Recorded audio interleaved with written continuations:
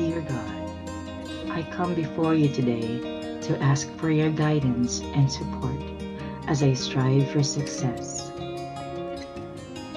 Please help me to stay focused on my goals and to work diligently and with integrity towards achieving them. Please bless me with the wisdom to make good decisions and the courage to take calculated risks when necessary. Please also help me to stay positive and resilient in the face of any setbacks or obstacles that may arise. May I always maintain a humble heart and be grateful for the blessings in my life, even as I strive for more.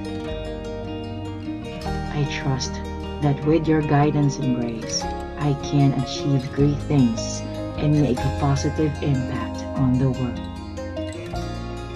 Thank you for hearing my prayer.